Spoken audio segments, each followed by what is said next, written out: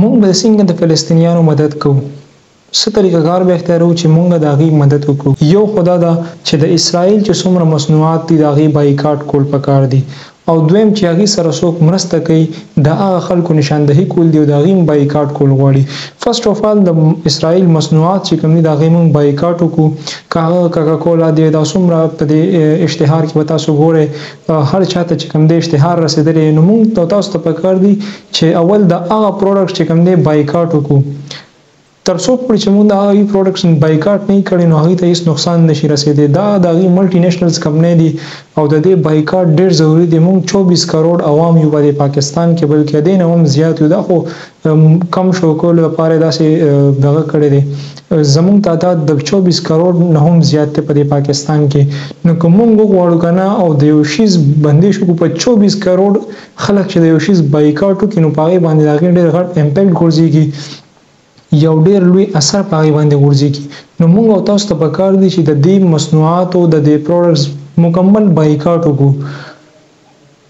زموږ دومره بدقسمته پاکستان دی. چې زموږ په پاسپورټ باندې لیکلي دي چې د اسرائیل نه علاوه تاسو هر ځای ته په دې باندې تلی شئ زموږ په پاسپورټ باندې ګرین پاسپورټ باندې دا صفحه صفحه لیکلي دي په هره صفحه باندې چې د اسرائیل نه علاوه تاسو هر ملک ته تلی شئ خو اسرائیل ته نشئ تلی خو موږ دومره بدقسمته یو چې موږ خو اسرائیل ته نشو تلی خو د هغوی هر یو پروډکټ چې کوم دی هغه دلته پاکستان ته راځي په دې باندې مونږ ته سوچ او فکر کول پکار دی چې یار مونږ په اسرائیل باندې بند یو مونږ اسرائیل ته نشو تللی خو د هغوی چې کوم پروډکټس دی هغه پاکستان کې بالکل په اسانه باندې ملاویږي او پاکستان کې د هغې نه برانډز جوړ شوي دي نو په دې باندې سوچ او فکر کول پکار دي موږ ته پکار دي چې موږ د دې متبادل پروډکټس وګورو د دې نه ښه ښه پروډکټ دلته پاکستان کې شته مینوفیکچر کیږي نو موږ ته پکار دي چې هغه پروډکټ رامخکې کو دا په مستقل تور باندې ختم کو دا نه چې موږ یو ورځ بایکاټ وکړو بس ختم بوتل هم راواغشتې او ما وشپولې نه دې مکمل بایکاټ پکار دی دې شیزونو د اسلامیو مالیکو پروډکټ استعمال کوو داسې زموږ خپل پاکستان کې چې هم مینوفیکچر کیږي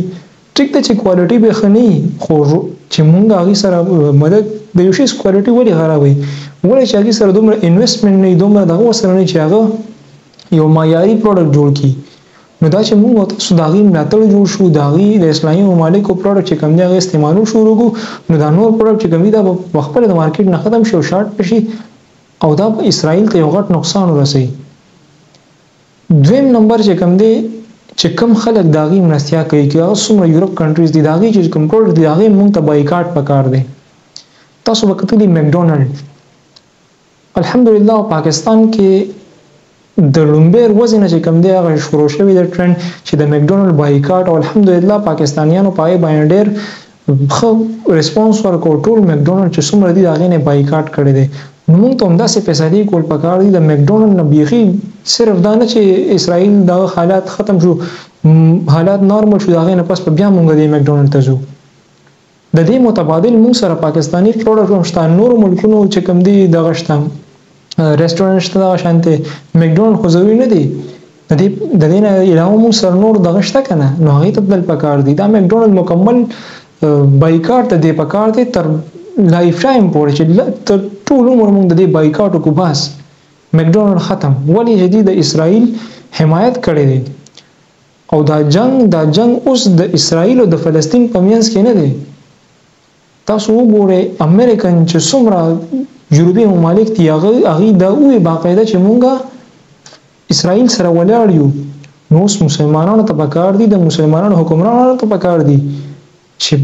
یو ځای شي متفق شي او د دې خلاف فلسطینیانو سره ودرېږي مونږ فلسطینیانو لپاره ډونیشن وکړو هغوی ته دې ټیم کې د ډونیشن ډېر سخت ضرورت دی الحمدلله او پاکستان کې مختلف ادارې لګیا دي دارلوم کراچۍ نه چې کوم دی امداد دلته ورسېد داسې نور امداد هم روان دی دغه شنت جمعیت علماء اسلام چې کوم دی هغه مختلف کیمپونه نن لګولي په ټول پاکستان کې نو موږ ته پکار دي چې لاړ شو هغه سره مدد وکړو هغه ته چې زمونږ د څومره وس کېږي د چا لس روپۍ وس کېږي لس کېږي سل کېږي زر کېږي لاک کېږي څومره چا وس کېږي نو هغې سره ډونیشن پکار دی که هغه الخدمت فاونډېشن دی، که هغه بیت السلام ویلفیر ټرست دی، که هغه ایدی دی، داسې څومره ادارې چې لګیا یي دې ټیم کې او هغوی ډونېشن اخلي نو موږ ته پکار دي چې هغوی سره ډونېشن وکړو، هغوی ته موږ دا خپل موږ سره چې کوم پیسې دي دا ورکړو.